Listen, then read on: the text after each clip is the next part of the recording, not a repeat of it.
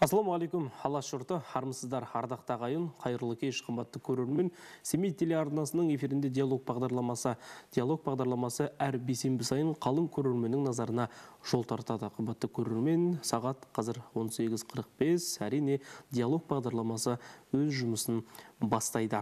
Әрине диалог алаңында қымбатты көрермен қоғамдағы өзекті өткір мәселелер және де өзекті тақырыптар диалог алаңында жайғасқан спикермен бірге талқыланады. Енді бүгінгі қозғалып отырған тақырыбымызда ауқымды енді көктем келісімен көктемнен кейін бізде жаз мезгілі бар.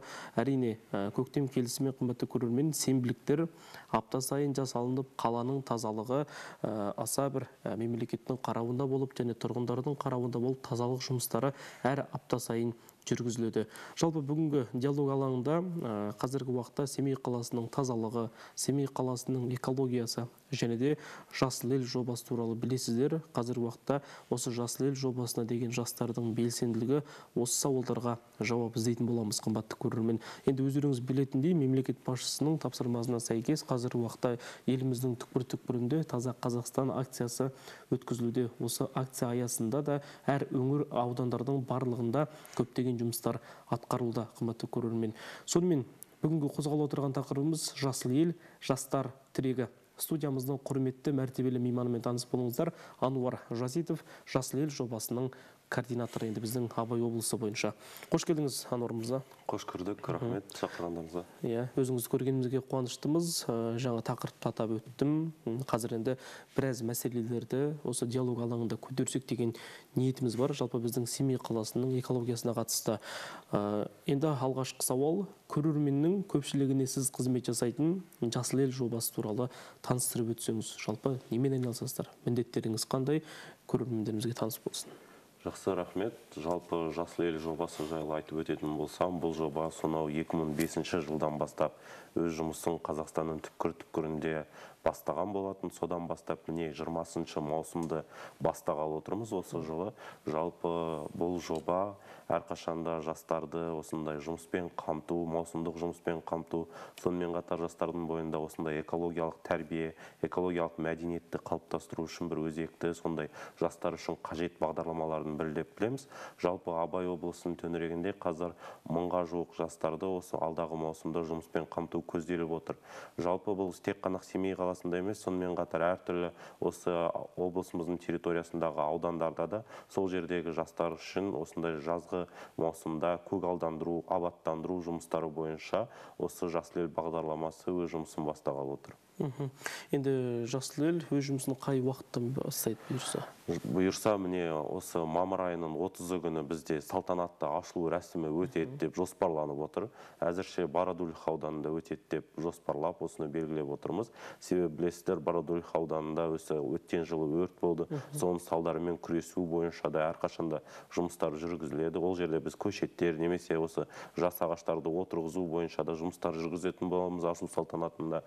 Соған байланысты көздеп отырмыз. Ал жалпы еңбек маусымы осы үшінші маусымнан бастап бірінші жаз айының бірінші күнінен бастап осы жұмыс күнінен бастап әрқашанда бастап алады. Әр ауданда осы семей қаласында курчатов қаласында осы барлық жерлерде бірінші жұмыс күнінен бастап өз бастайды жұмыстарын.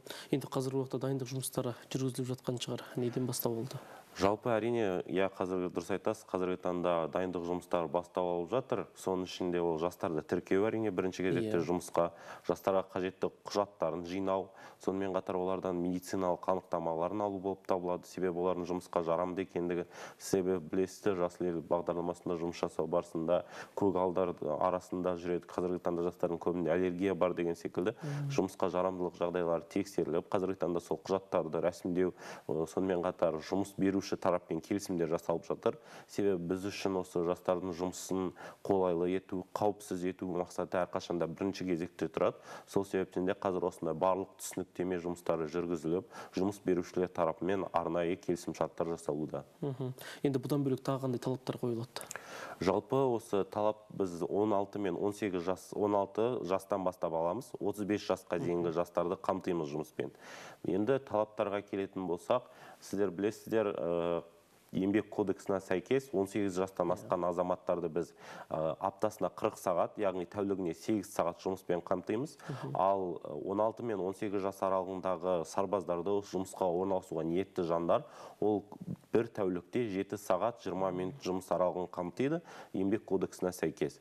Енді бұдан бөлек оларға жеке куәлігі сонымен қатар медициналық анықтама сонымен қатар өтініш одан кейін жұмысқа орналасуға байланысты банк карточкасында сонымен қатар осы техникалық қауіпсіздік ережесімен таныстырылады. Одан кейін сол танысқандығы жайлы анықтама алып осы арқылы бізге жұмысқа орналасуға келсе болады. Біз әрине тікелей қабылдамаймыз. Ол жастар ресурстық орталықтары арқылы қазіргі таңда ұйымдастырылып жатыр. Сол жастар ресурстық орталығына жүгінсеңіздер сіздерде сол жерде барлығын толыққанды түсіндіріліп барлық құжаттардың үлгілерін беретін болады.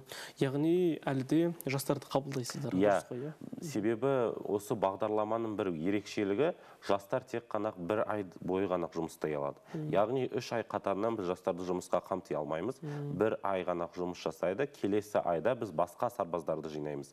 Яғни ол осы бұл жастардың басым көпшілігіне осы жаз айында ақша табуға мүмкіндік беруге деген осы жастарды жұмыспен қамтуға деген. Мың адамды біз осылай жинақтап қамтитын боламыз. Мгм.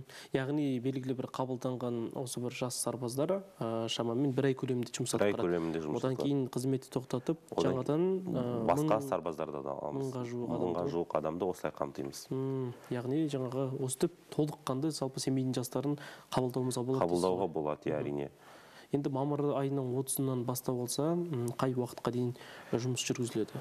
Жұмыс жалпы ең соңғы кезең біз қазан айының аяғына дейін жастар осы жұмыспен қамтылады. Осы мамыр мен қазан аяғында біз абай облысы бойынша мың адамды жұмыспен қамтимыз.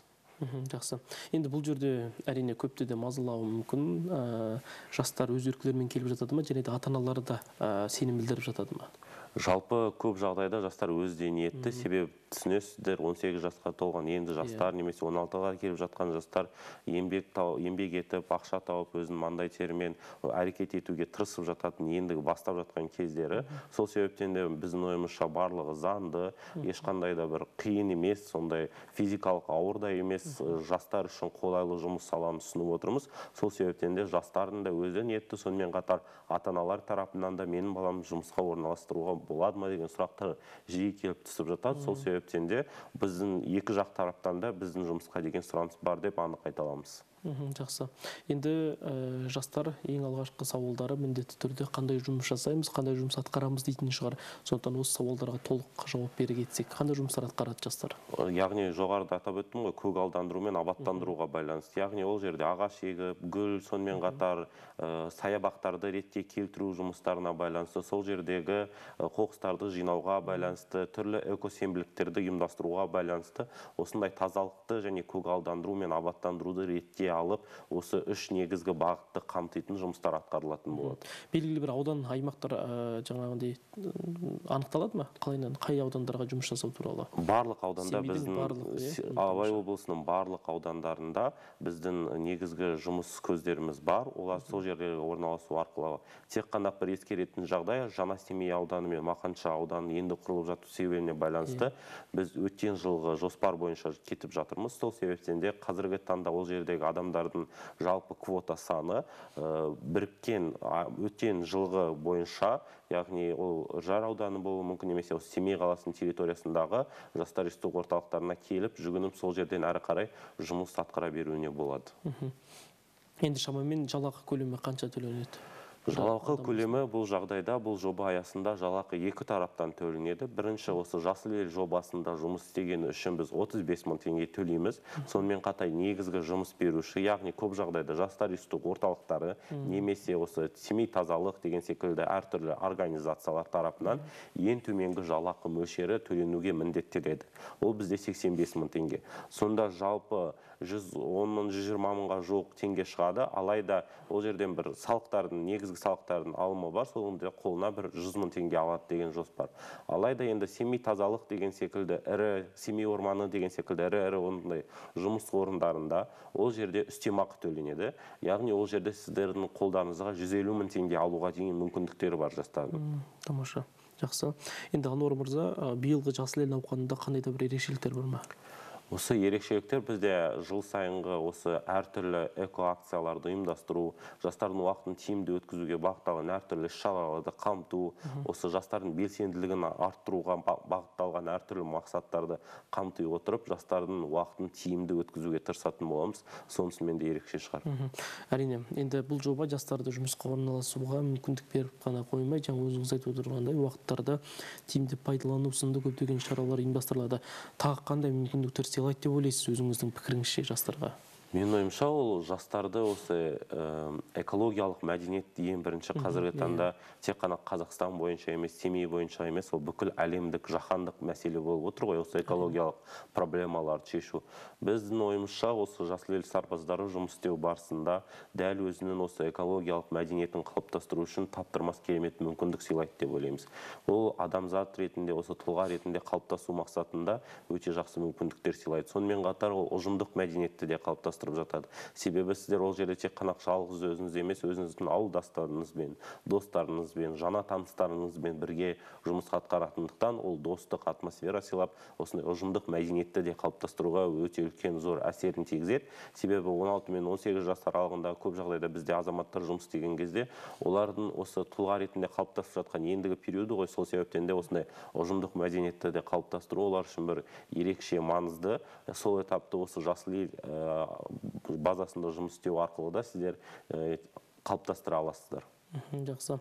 Енді расымен де жастарға өте үлкен мүмкіндік бергелі отыр енді ауқымды тақырыбымызда міне көріп отырғандай қымбатты көрермен жасыл ел жастар тірегі. Егер де 18 бен 35 жасқа дейінгі жастар жазғы уақыттарыңызда ә, қамту ойларыңызда жұмысқа кіру ойларыңызда болса міндетті түрде абай облыстық жастар орталығына жүгінсеңіздер болады. Сол жерде толық ақпаратты ала аласыздар. Және қандай құжаттар керек қандай ә, жаңағындай қандай үлгілерді толтыру керек сол бойынша ақпаратты алып осы биыл 30 мамырдан бастап жұмысқа кірісе берулеріңізге болады. Жалпы ануар мырза ә, жастардың белсенділігі қалай? Байқалады ма? Иә қазіргі таңда бізде уже бірінші маусымға барлық аудандар бойынша ә, мен жұмыс істеймін деген ниетті жастардың тізімі қалыптасты. Олардың саны уже 200-300-ден асып жатыр кейбір аймақтарда. Олардың барлығы осы жұмыс маусымының басталғанын күтіп отыр. Сол себептен де жастардың белсенділігі менің ойымша жақсы. Олар әрқашанда осы жоба жайлы біледі естиді. Осы жобаның ә, тиімді тұстары жайлы көп хабардар деп ойлаймын. Себебі бұл 2005 жылдан бастап алған жоба болғандықтан ол жайлы көптеген пиарды қажет етпейді. Сол себептен де жастар әрқашанда біз үшін белсенді. Өзінің былтыр істеген аға апайларынан естуі мүмкін ауылдастарынан осы жаз уақытында жұмыс істеп жатқан достарынан үлгі алып олар да осы жұмыс жасауға ниет білдіріп жатыр.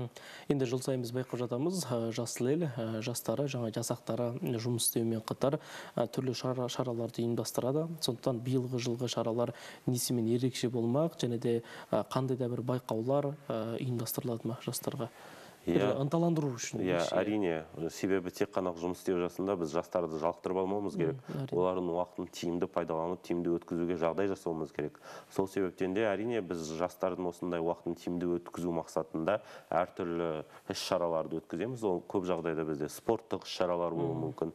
Ол жерде атмосфераны қалыптастыру үшін балалар бір бірімен жарысуы мүмкін иә. Сонымен қатар эко акциялар деп айтып жатамыз. Ол қандай акциялар? Ол көп жағдайда ә, таза өзен таза жағалау. Деп жатамыз one day of жасыл ел деп айтып жатамыз. Иә видео түсіріп жарысуы мүмкін өзінің бір күндік өмірі жайлы. Сонымен қатар және ағаш отырғызу акциялары гүл отырғызу акциялары болуы мүмкін. Осындай әртүрлі бағыттағы акцияларды қамти отырып олардың уақытын тиімді өткізуге тырысамыз. Сонымен қатар осы акцияларда өздерін белсенді көрсеткен жастарды біз әрқашанда ынталандыру мақсатында оларға сыйлықтар ұсынамыз. Бізде жыл соңында жасыл ел awards деп айтамыз. Яғни жасыл ел сарбаздарын марапаттау кеші өтеді. Сол жерде маусым барысында өзін белсенді көрсеткен біздің сарбаздарымызға арнайы сыйлықтар береміз. Бізде жасыл ел сарбаздарын үздік сарбаз деген екі номинация ұсынамыз. Үздік сарбаздарға осындай ә, оларды ынталандыру мақсатында қомақты сыйлықтар беріледі. Сонымен қатар үздік акция сонымен қатар үздік осындай жұмыс беруші деген секілді әртүрлі акциялардың нәтижесін қамти отырып жыл соңында оларды марапаттайтын боламыз. Яғни сол қазан айында марапаттау жұмыстары жүргізіледі иә. маус- барлық маусым еңбек маусымы аяқталғаннан кейін жылдың соңына таман осы марапаттау рәсімі болады қорытынды кеш. Жақсы. Енді тағы бір мәрте жалғастыратын болсақ ә, жас жобасына қатысты өзге аймақтармен ә, республикадағы жүзеге асырып жатқан жас ел жобасымен байланыстарыңыз қалай тәжірибе алмасып бөлісесіздер ме? Жалпы біз абай облысы аумағында осы барлық аудандарды тікелей өзіміз қадағалаймыз. Олардың жұмысын координация беріп оларды әрқашанда ақпараттандырып отырамыз. Ал енді республика көлеміндегі басқа аймақтарға тоқталатын болсақ әрине ол жақта да бұрын республикалық штаб жұмыс атқаратын. Өкінішке орай қазіргі таңда ол жұмыс тоқтатылды. Бірақ біз сонда да осы олардың әлеуметтік желілерін қарау арқылы ол жақтардағы жұмыстардың қалай жүріп жатқандығы туралы барлық ақпараттан хабардар болып олармен әрқашанда байланыста отыруға тырысамыз. Бізде жыл сайын жолданатын челленджіміз бар. Сол челлендждарды осы басқа аймақтарға басқа облыстағы біздің штабтарға жолдаймыз. Олар да бізге әрқашанда осындай өздерінің челлендждарын жолдап осындай әрқашанда до- достық қарым қатынастамыз басқа аймақтармен. Сол себептен де жасыл ел жобасы барлық қазақстан бойынша бірге жұмыс жасау барысында деп айта аламын. Жақсы. Енді ауыл аудан аймақтарға туралы тоқталатын болсақ бұл жақта қандай ә, мәселелер бар немесе сол туралы көтерілсек қазір уақыт иә жақсы өте дұрыс сұрақ деп ойлаймын. Себебі көп жағдайда біздің алыс аймақтардағы аудан орталығынан алыс шалғайда жатқан аудан аймақтарындағы жастар да ниет білдіріп жатады осындай жұмыс істеуге байланысты. Енді бұл жағдайда біз қандай іс әрекет жасаймыз? Бұл жағдайда егер ауыл кішкентай яғни халық саны аз болған жағдайда барынша оларды түсініспекшілік танытып оларға бес сарбазға дейін адам алуға мүмкіндік береміз.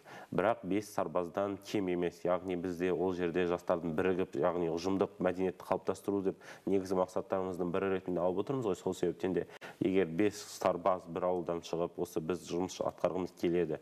Және сол жақтағы жұмыс беруші мекеме келісетін болса оларды қабылдауға жұмысқа ол жағдайда біз әрине оларға қуана қуана келісеміз. Біздер үшін ол өте жақсы. Себебі шалғайдағы ауылдағы жастардың өзі потенциалын білеміз. Олар өте мықты екендігін түсінеміз. Сол себептен де ол жақта да көгалдандыру осындай ә, жұмыстар өте маңызды. Сол себептен де әрине оларға да егер жұмыс беруші тарап келісіп жататын болса біз қуана қуана келісеміз. Жақсы.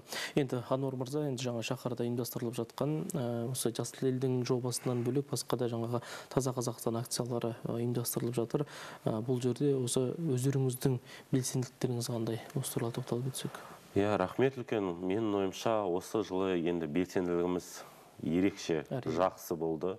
Таза қазақстан акциясы басталған сәттен бастап жұма сайын барлығымыз сенбілікке шықтық. Өз басым жекелей семей қаласы әкімдігімен бірге абай облысы әкімімен бірге сенбіліктерге шығып көшет отырғызу акцияларына белсене қатысқан болатынбыз. Сонымен қатар достарым да осыған белсене атсалысты. Менің ойымша бұл осы ұйымдастырушы тараптардың өте жақсы жұмыс жасауының белгісі деп білемін. Барлық жастарды осы бірге шақыруға бірге жұмыс жасауға шақырып осындай әртүрлі территорияларда ол қала аумағында болсын қала аумағынан тыс облыс көлемінде болсын әртүрлі аймақтарда осы таза қазақстан эко акциясының аясында өте көптеген жұмыстар атқарылды.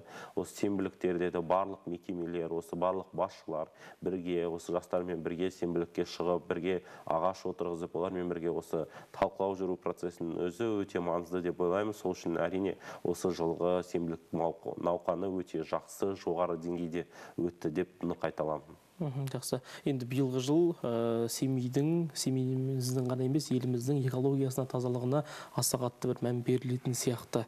Әм, келесі қояр сауалым жаңа жоғарыда жақсы тоқталып өттіңіз. Бұл тазалық экология бұл жаһандық мәселе деп. Шынында да әлемдегі жаһандық экологиялық жағдай бүгінгі күні күрделене түсуде және қоршаған ортаны қорғау мәселесі өзекті болып бара жатыр. Жалпы семей қаласындағы тазалықты экологияны өзіңіз қалай бағалар едіңіз?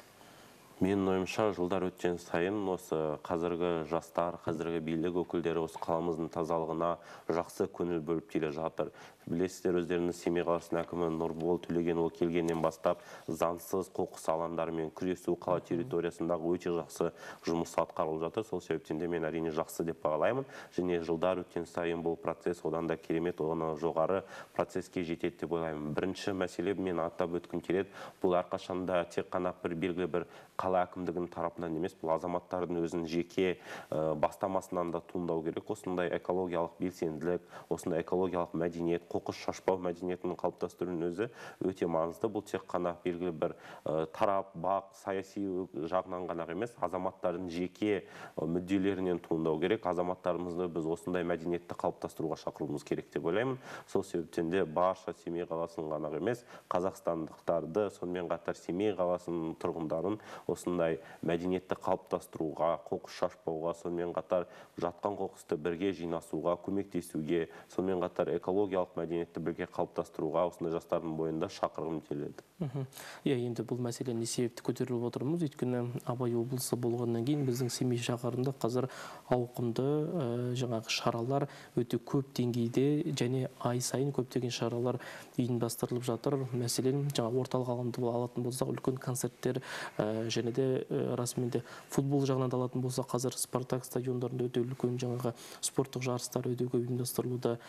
Футбол ойындары ойналуда ә, халықтың да көптеп жиналуының салдарынан артынан көптеп қоқыс та қалып жатады енді бұл бұны ашып айтуымыз керек. Ә, қазіргі күні ә, экологияға да осы мәселелер әсер ететін шығар. Сондықтан әрбір тұрғын экологиялық та сауатты болу керек шығар. Иә, қалай ойлайсыз иә. Әрине дұрыс айтасыз. Иә қаладағы бір осындай көп адам шоғырланған жерлерде ке- кейінгі кездері байқауға болады. Бірақ сонымен қатар қазір бір жақсы тенденцияны да байқауға болады. Мен өзім ә, осы экобелсенділер менің достарым бар.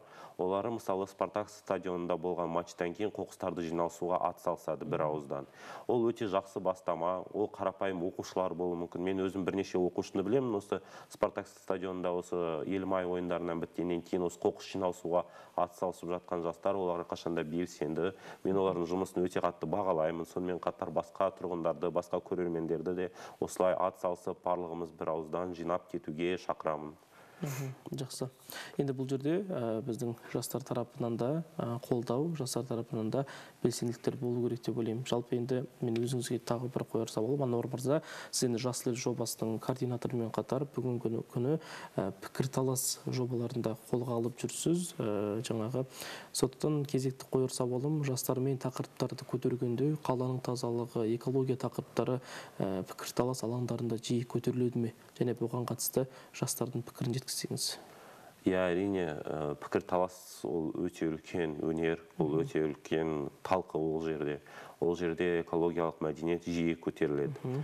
Сол көтерілетін біздің қарарларымыздың бірі жалпы экологиялық мәдениетке экологиялық ә, дүниеге байланысты. Ол көп жағдайда азаматтардың жеке өзі осы экологиялық мәдениетті қалыптастыру керек пе? Әлде экологиялық нашар жағдайға белгілі бір ірі кәсіп орындар ғана кінәлі ма деген сұрақтарды біз жиі көтереміз. Сол жағдайда көп жағдайда біз әрине азаматтардың жеке экологиялық белсенділігі ол әрқашанда жақсы деген қорытындыға келеміз. Жақсы. Енді қазіргі уақытта байқап отыратын болсақ ә, жастардың жұмыссыздығы жастардың жұмыссыздығы да өте көп өте үлкен өзекті мәселе болып тұр. Неге десеңіз ә, ниет санатындағы жастарды алатын болсақ ә, статистикаға қарайтын болсақ осындай жастардың біздің облыс төңірегінде бар екені байқалады. Ә, жасыл ел жобасын алатын болсақ осындай олқылықтардың орнын толтыру және де жастардың жұмыссыздығының алдын алу. Қалай ойлайсыз жұмысқа бейімдеу? Иә жалпы жасыл ел бағдарламасы негізі осы проблеманы шешуге бағытталған. Себебі жасыл ел бағдарламасында жұмыс істеп жүрген азамат немесе демалып жатқан азамат жұмыс жасай алмайды. Ол жерде тек қана жұмыссыз жастар нит санатындағы жастар және өзіңіз айтып кеткен оқушылар студенттер ғана жұмыс істей алады. Сол себептен де ол маусымдық болсын да болса да осы жасыл ел бағдарламасы дәл осы проблеманы жақсы шешіп жатыр деп айтамын.